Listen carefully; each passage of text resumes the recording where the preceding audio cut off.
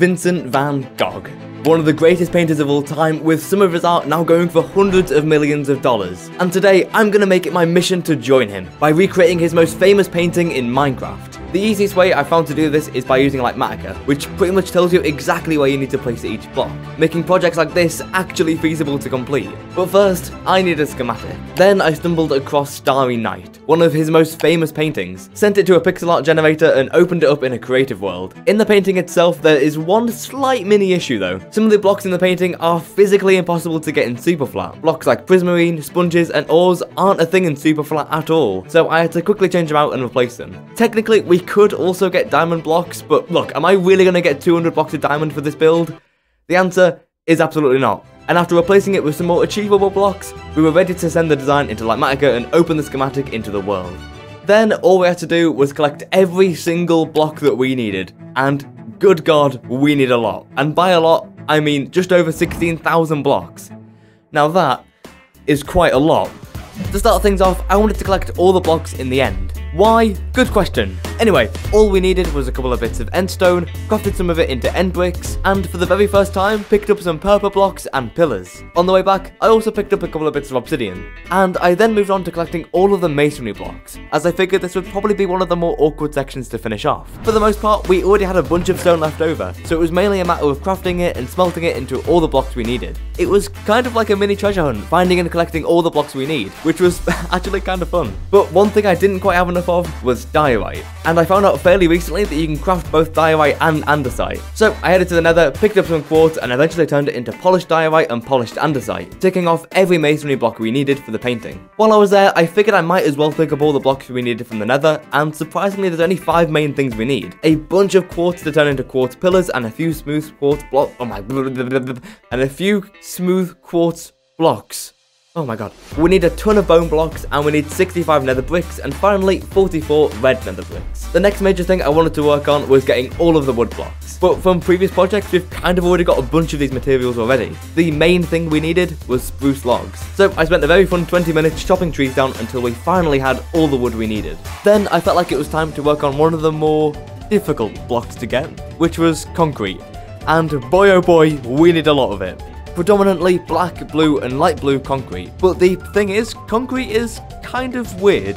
Since it's a gravity block, we can make an end duper, one of these things, along with a chunk loader. And I'm gonna be completely honest, I have absolutely no idea how this works. I just watched this guy's tutorial, followed it block by block, and even then it still didn't really work. Faffed around with it for a couple of minutes, and boom, it worked flawlessly, I think.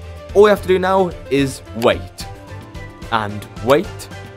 And oh my god, this is incredibly fast. This farm is incredible. Like seriously, if you don't have this in your world, please dear god make one. And I've only built half of this farm, meaning we can literally get double the output.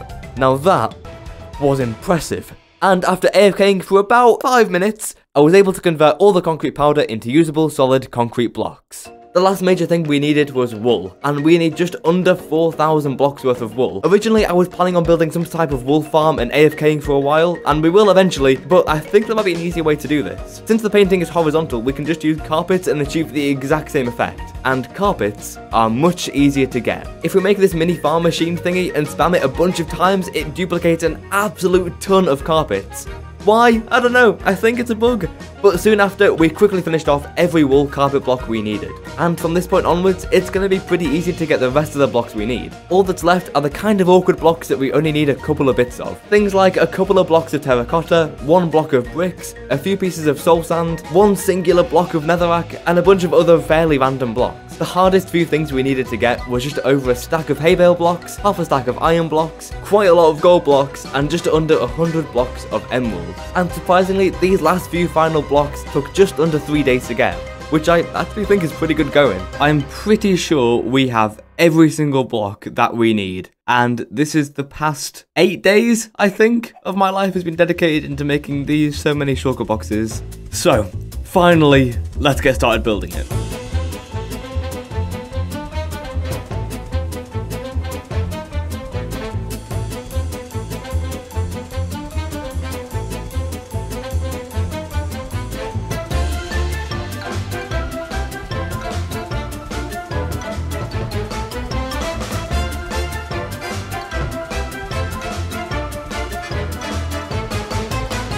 Okay, so it's been about an hour, and you can see we've kind of got the vast majority of the sky done. The next few things I want to get done is getting these, like, stars done. There's quite a few of them, and it would be good to get them all done and kind of crossed off so that this entire sky is done. So I guess we'll get started doing that then.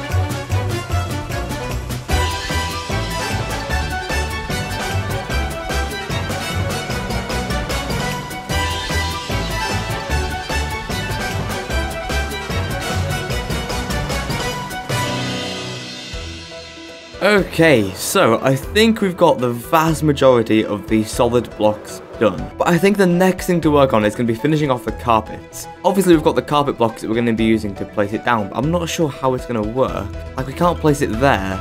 So we're going to have to place a random block down. So we're probably going to use netherrack, I reckon, and then place carpets above that. Okay, well, I guess that works. That might take a while to get done, though, but we can get started with that then. God, this going to take forever to do then. Oh my gosh.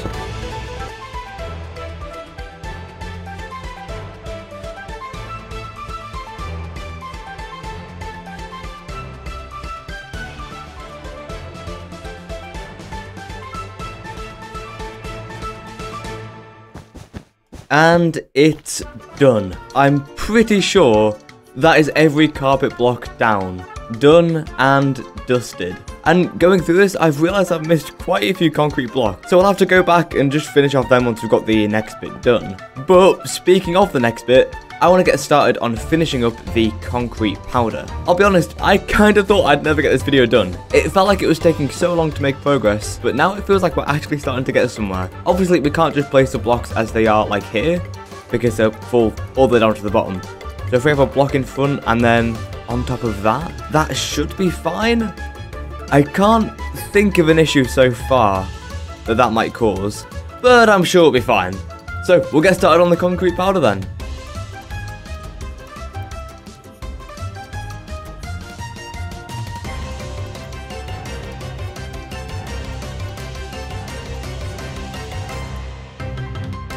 Okay, so I think we're done, and it does look pretty weird having all these blocks up here now. But I think it's done. And it actually got done a lot faster than I thought it would have, to be honest. I thought this might have taken a couple of hours to do, but no, it only took about half an hour, which is actually pretty good going. There were quite a few bits of concrete that I've kind of left, and the odd bit of cobblestone and wood, so it'd be good to get that all ticked off, and then this build will be pretty much done. So, I guess we might as well just do it. Oh, this is gonna take a long time to get done.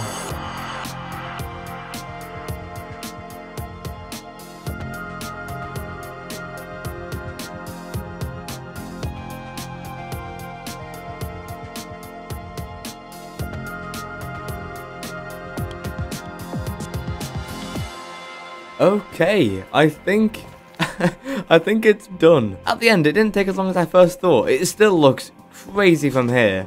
But the next thing we need to do is get a map.